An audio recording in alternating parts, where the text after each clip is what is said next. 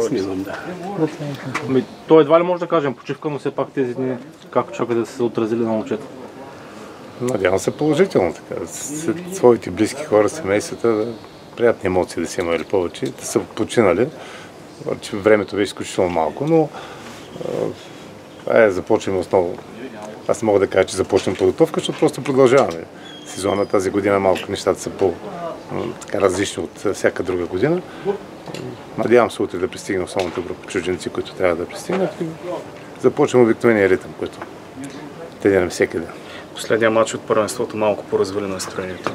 Дали сте го преодолели лично вие първо и футболистите също? Аз трудно ги преодолявам загубите, малко неприятно.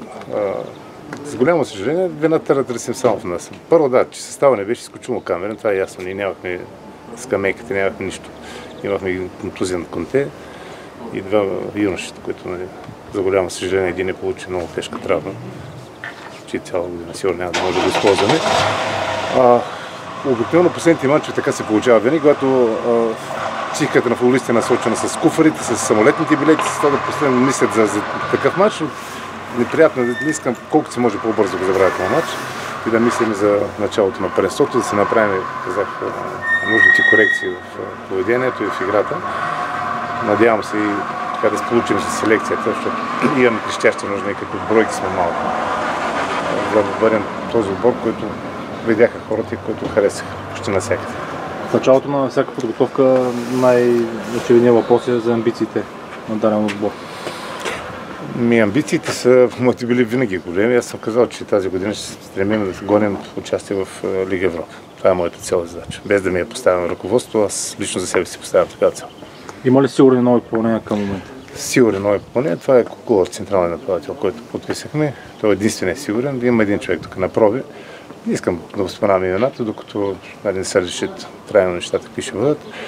Водят се разговори с други футболисти. Много е трудно, много е тежко да този момент казах за селекцията, защото сега нашите условия, нашите параметри не са като на Левски Цеска отгоре с другите отбори.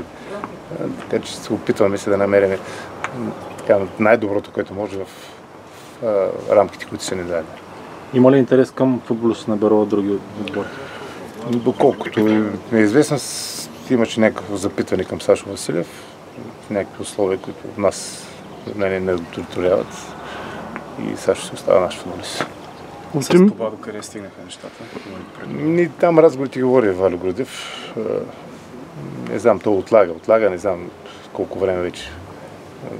Трябва ли изобщо да го чакаме? Ще видим. Поставяме някакъв срок. Най-близко време трябва да каже даже не, защото ние наистина не може да чакаме така.